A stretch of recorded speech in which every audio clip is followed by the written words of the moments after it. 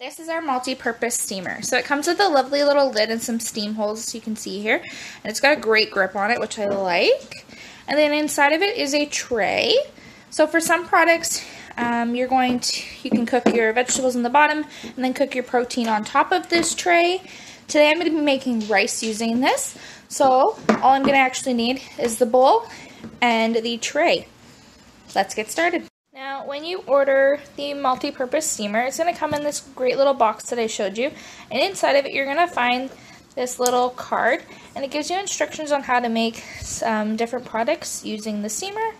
Uh, if you have any questions about making any other products that aren't listed on this, just uh, reach out to me and I would happily help you out with that.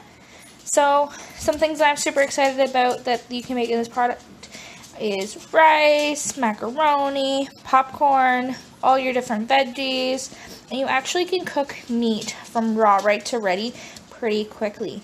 So, let's get started. So to start, you're going to add a cup of rinsed uh, stovetop rice.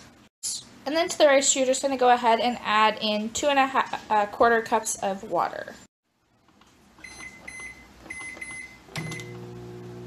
So my rice has been in the microwave for 15 minutes. I just took it out. And I'm just going to use a fork to get this uh, tray up.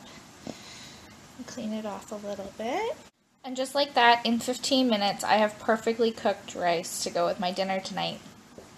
For more information about the multi-purpose steamer available through Epicure, just send me a message or put a comment down below on this video. Thank you and have a great day.